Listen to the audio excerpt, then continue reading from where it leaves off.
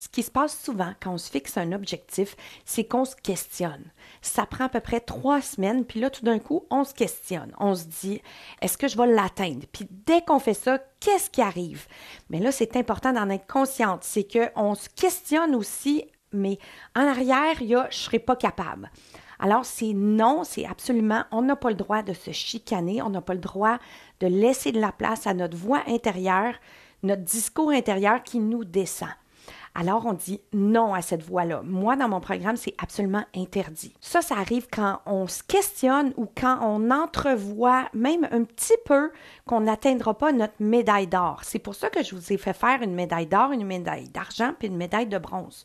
C'est bien correct d'atteindre sa médaille de bronze puis laisser plus de temps pour la médaille d'or. Alors, ce que je vous suggère, c'est de absolument refuser le discours intérieur qui vous descend. Qu'est-ce qui arrive pour vrai?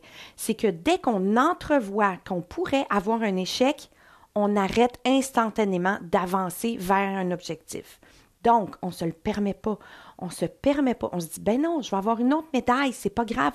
Je vais atteindre ma médaille d'or plus tard. C'est normal que je me questionne à un certain moment donné. La raison pourquoi ça arrive, c'est que notre cerveau primitif, une partie de notre cerveau est inconfortable avec qui on devient. Ce que moi j'appelle la zéro dichotomie. OK, moi j'utilise trois méthodes. Une des méthodes, c'est la dichotomie.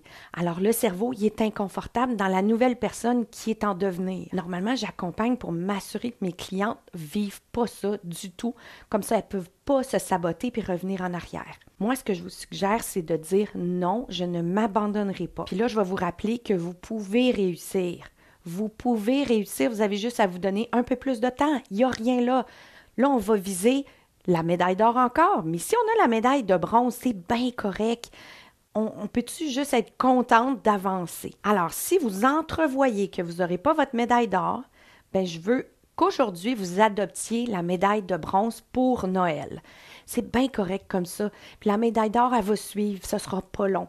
Mais là, dites-vous que vous êtes capable. Vous pouvez absolument réussir. Il faut être gentil avec soi-même, pas se chicaner, puis voir qu'on va atteindre un objectif, puis se féliciter en cours de route. Hein? Être fier de soi.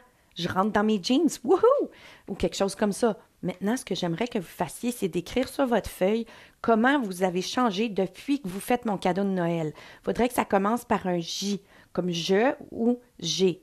Alors, j'aimerais vraiment ça que vous réalisiez que vous avez évolué. Votre perception de vous-même a changé ça devrait ressembler à j'apprends à m'écouter, je respecte beaucoup plus mes décisions. Alors déjà, ça, c'est un grand changement. Ça va bien, j'ai perdu trois livres, je commence à plus comprendre. Mon Dieu, t'as encore maigri. Oui. Ça paraît beaucoup. Je m'en viens, je m'en viens. Il me reste peut-être 10 livres à prendre. Oui, mais là, j'ai menti parce que je me suis repesée tantôt. Oui? J'étais à 134,6. Écoute, je suis tellement contente, là. Je m'étais dit 135, ensuite je comprends, OK, 134.